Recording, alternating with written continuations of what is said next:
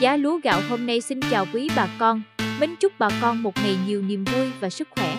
Giá lúa gạo thay đổi liên tục, nên quý bà con hãy nhấn đăng ký kênh và ấn chuông thông báo mỗi ngày để khi lúa gạo thay đổi giá, bà con sẽ nhận được thông tin nhanh và chính xác nhất trên thị trường.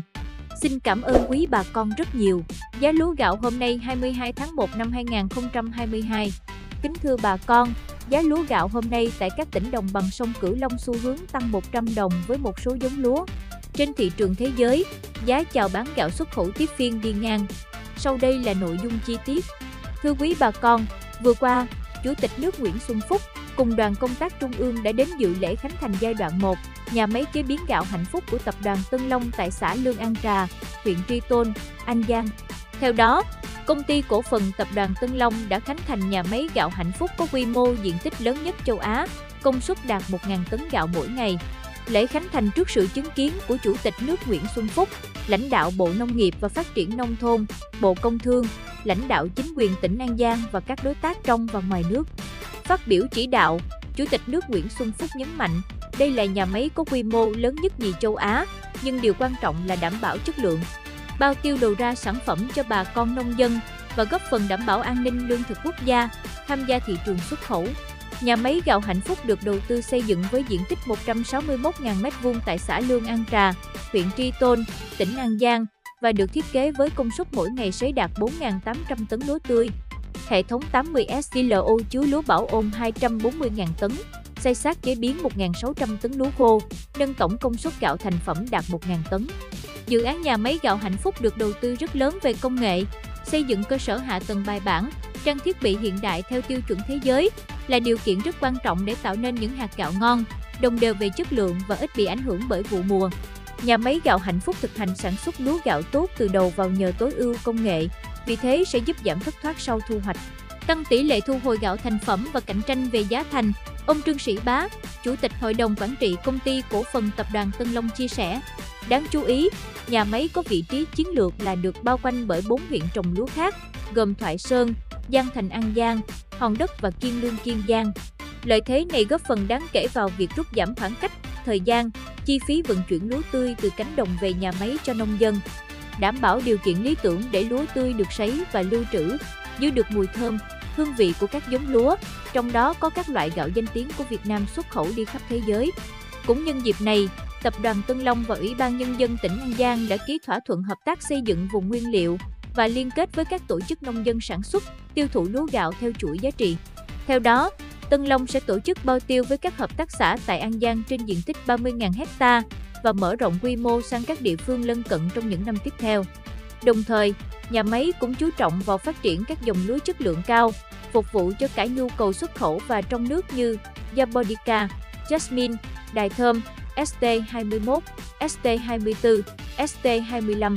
Tân Long sẽ thực hiện xử lý sau thu hoạch, chế biến và đóng gói, đồng thời tìm kiếm và phát triển thị trường đầu ra cho sản phẩm gạo A An, hoàn thiện chuỗi lúa gạo khép kín từ cánh đồng đến bàn ăn.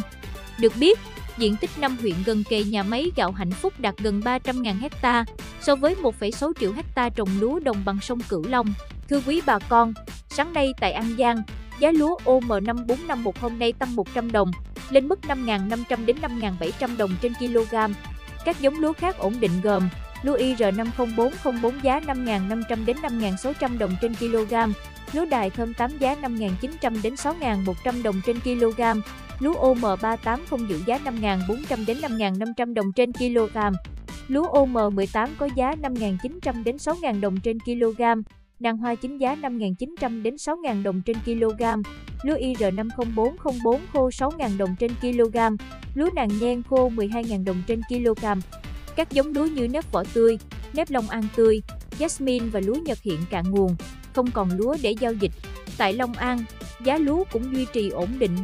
Theo đó, đài thơm 8 giá 5.800 đồng trên kg, IR50404 giá 5.300 đồng trên kg, OM5451 giá 5.500 đồng trên kg, nếp Long An giá 5.400 đồng trên kg, nàng 29 giá 6.200 đồng trên kg, OM18 giá 5.600 đồng trên kg. Tương tự tại Kiên Giang, giá lúa không biến động.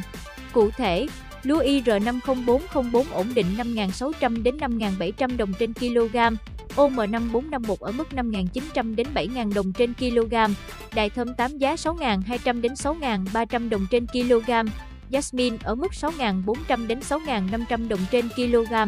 Đối với giá gạo hôm nay đi ngang, hiện gạo nguyên liệu IR504 ở mức 7.600 đến 7.700 đồng trên kg, gạo thành phẩm IR504 là 8.500 đồng trên kg, tấm 1 IR504 ổn định ở mức 7.400 đến 7.500 đồng trên kg, cám vàng ở mức 7.600 đồng trên kg. Theo các thương lái, hôm nay gạo nguyên liệu về ít, các kho hỏi mua nhiều hơn so với tuần trước, giao dịch khá. Tại các chợ lẻ, giá gạo tiếp tục duy trì mức giá như cuối tuần qua.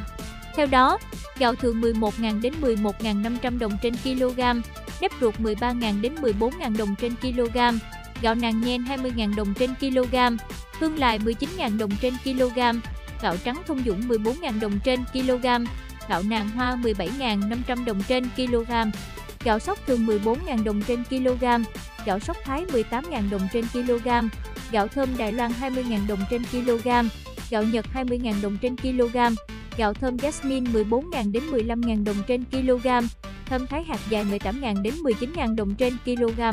Trên thị trường xuất khẩu, giá chào bán gạo của Việt Nam tiếp phiên ổn định. Hiện gạo 5% tấm ở mức 393 đến 398 đô trên tấn, gạo 25% tấm ổn định ở mức 378 đến 382 đô trên tấn, gạo 100% tấm ở mức 328 đến 332 đô trên tấn và gạo Jasmine 563 đến 567 đô trên tấn. Thông tin vừa rồi cũng đã kết thúc bản tin sáng nay của chúng tôi. Quý bà con mong muốn giá lúa gạo đạt bao nhiêu để có lãi? Xin hãy bình luận, đóng góp ý kiến dưới video để kênh ghi nhận và đề xuất nhà nước có biện pháp hỗ trợ giá hợp lý, giúp bà con nông dân. Hãy cùng đồng lòng góp ý dưới video vì mục đích chung, vì cuộc sống mai sau. Xin kính chào và hẹn gặp lại quý bà con trong bản tin giá lúa gạo tiếp theo. Sau đây là bản giá lúa chi tiết mới nhất đầy đủ trên thị trường. Kênh xin gửi đến quý bà con cùng tham khảo.